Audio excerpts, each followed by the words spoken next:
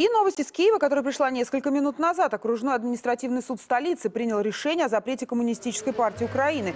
Иск был подан Министерством юстиции. Ранее была распущена парламентская фракция Компартии. Верховной Ради КПУ, как известно, не поддержала силовую смену власти на Украине и резко выступала против войны в Донбассе.